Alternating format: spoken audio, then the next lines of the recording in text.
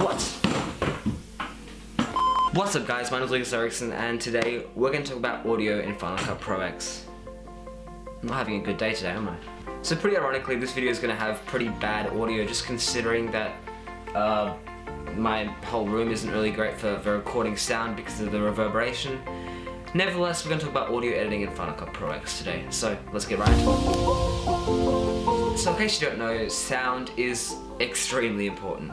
Now I've talked about sound design in one of my other videos, but today we're talking about editing like this, the sound of someone's voice to make it sound a lot better. So this can be useful when you're making a movie, when you're recording an interview, or if you're just filming YouTube videos like right now. So what I found in the last couple of years in watching YouTube and watching movies, what I found is that if you have crappy image quality, crappy video quality, if you have good, clear, crisp audio, you're still gonna get lots of people engaging in your content. However, on the flip side, if you have great video quality, but don't have good audio, people are not going to want to watch your video.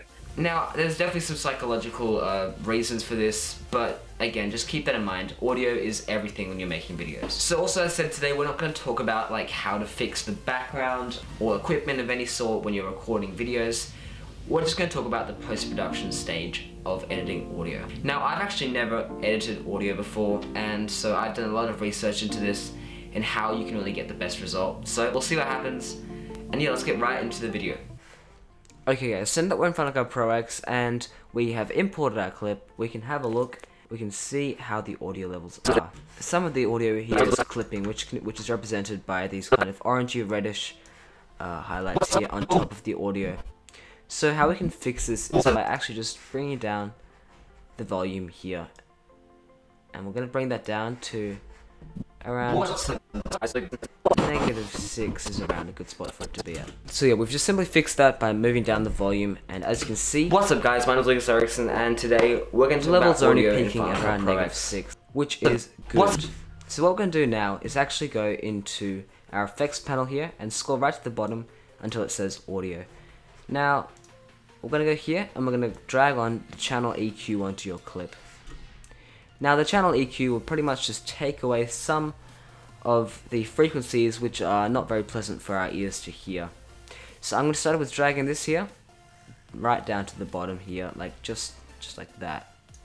Then we're going to drag this, like this, and drag the 750 hertz, just like that. So we have like a nice hill there. Now this one, the now, these hertz here, they're just going to go all the way down. And this will just give us a more balanced feel. So just kind of copy this kind of uh, uh, leveling, and then you guys should be fine. So I'm going to close that down again. And we can hear that. What's up guys, my name is Lukas Eriksen, and today we're going to What's up, so guys? as you guys can see, there is What's a lot guys? more clarity in the voice now, and it feels a What's lot more What's up, guys? My name is Lukas Eriksen, and today we're going. So what we can do now is actually add a surround compressor onto it. Now you can add normal compressor on as well, but it's just going to require a bit more effort and a bit more fine tuning. But so just drag that on top, I've already dragged in here.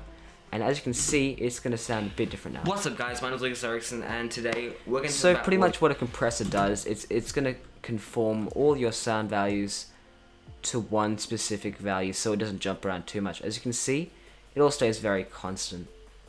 Now, the final thing that we can do now is actually add in a bass enhancer, because who doesn't love a good bit of bass in their voice?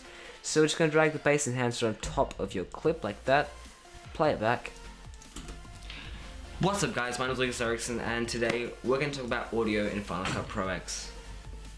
I'm not having a good day today, am I? As, as you guys can hear, this is going to make a massive difference to your voice. Now obviously you guys can play around with some of these settings and just make sure that you fine tuned it. I just want to show off how you can just Simply improve your audio in these three easy steps. One, by adding your channel EQ, then adding your surround compressor, and then adding your bass enhancer. Now, you can have a look through some of these other effects. There's some reverb effects if you want to have reverb. Um, there's lots of other stuff here as well, muffled audio. That'll be another video. Um, but yeah, there's lots of stuff that you can fix up here. So the original sounded like this. So pretty ironically, this video is going to have pretty bad audio just So as you guys can see, there's lots of like humming in the background, there's a lot more reverb, and my voice isn't as rich. Pretty ironically, this video and isn't as bassy, so we're going to add in those effects again. So pretty ironically, this video is going to have pretty bad And as you audio, guys can just hear, considering that It sounds so Um, much better. Like it's whole room incredible. isn't really great for the recording. See, that's about it for, for sound editing. Um, and I, yeah, I do recommend you guys play around with some of these settings just to find out what works for you, for your voice. Um, but yeah, that's about all I've got to say for today, and I'll send you back to good old Lukas. See ya. Thank you guys for watching that video. If you did enjoy it, remember to smash that like button and subscribe for more weekly content. I post lots of tutorials, cinematics, and reviews of gear. Um, yeah, that's pretty much all I've got to say, and I hope you guys have a nice and safe week. Uh, yeah, I will see you guys next week. See ya.